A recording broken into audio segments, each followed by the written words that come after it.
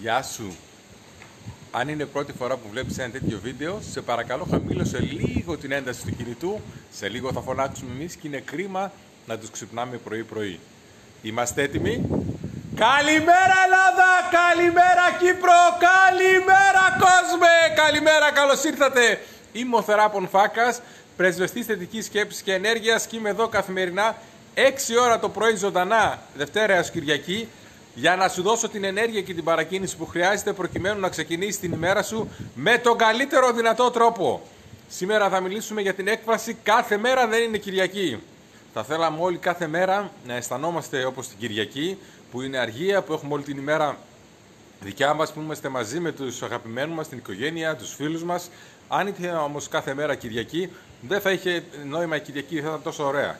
Έτσι είναι και στην προσωπική μας ζωή, αλλά κυρίως στην επαγγελματική, για την οποία θέλουμε να μιλήσουμε σήμερα.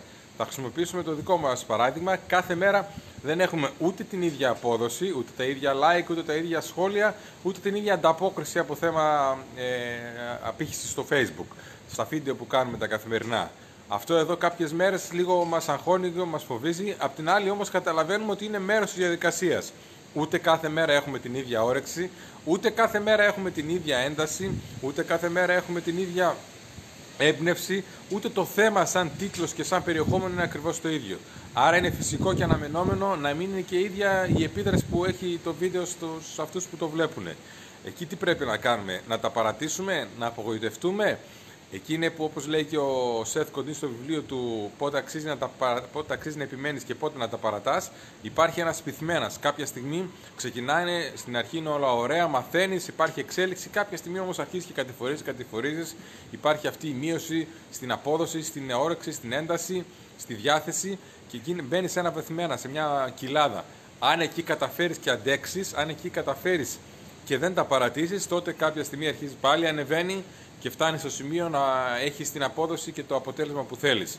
Έτσι και, εμείς, έτσι και εμείς, σκεφτόμενοι το πού θέλουμε να φτάσουμε, σκεφτόμενοι ποιο είναι το αποτέλεσμα, γιατί κάνουμε ό,τι κάνουμε, δεν το κάνουμε για τα like, δεν το κάνουμε για την αναγνώριση, το κάνουμε για να δώσουμε πίσω όλη αυτή την αγάπη και την υποστήριξη που παίρνουμε. Το κάνουμε γιατί στην ουσία αυτό εδώ, αυτά τα, εδώ τα καθημερινά βίντεο είναι η δική μας, το δικό μας ταξίδι αυτό ε, βοήθειας και αναγνώρισης, αυτογνωσίας. Έτσι λοιπόν, ε, όταν έχουμε αυτό το γιατί μέσα στο μυαλό μας, ξεπερνάμε και την καμπύλη που κάνουμε, τη βήθηση και τα πάνω και τα κάτω και παίρνουμε ενέργεια, παίρνουμε διάθεση και όρεξη για να συνεχίσουμε.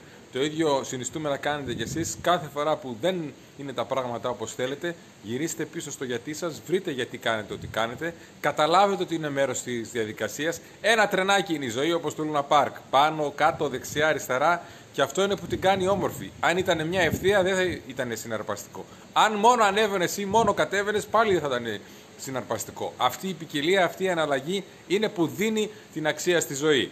Να έχετε μια υπέροχη μέρα. Αν αυτά τα βιντεάκια σας αρέσουν, κάντε ένα like, κάντε μια κοινοποίηση. Μην ακούτε αυτά που λέγαμε. Κάντε κοινοποίηση ελεύθερα εσείς. Ακολουθήστε μας στο Instagram, κάντε ένα like στη σελίδα μας στο Facebook, βρείτε μας και στο YouTube και κάντε ένα subscribe.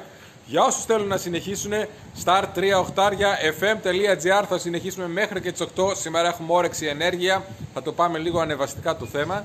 Για τους υπόλοιπους, αύριο στις 6 εδώ πέρα Παρασκευή, αύριο, τελευταία μέρα της εβδομάδας, ε, ανεβαίνουμε, να περνάτε καλά, να, ό,τι και να κάνετε να χαμογελάτε, αλλά κυρίως να κάνετε τους άλλους να χαμογελάσουν. Θα γυρίσει πίσω-πίσω, πολλαπλάσιο σε εσάς, σαν μπούμερ, κουπ, θα, θα, πάει και θα έρθει, με γενθυμένο όμως.